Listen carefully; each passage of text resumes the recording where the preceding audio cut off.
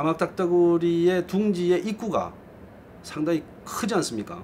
그러다 보니까 어, 원앙이가 들어갈 수 있는 정도의 그 입구가 되는 것이고 그 둥지를 스스로 나무 둥지를 만들지 못하는 원앙이라든지 이런 새들의 입장에서는 보면 지금은 뺏어 쓰는 그런 상황이 발생하고 이것 또한 생태계 내에서 서로 어떤 자기의 어떤 그, 그 가지고 있는 자산을 공유한다고 봐야 되거든요.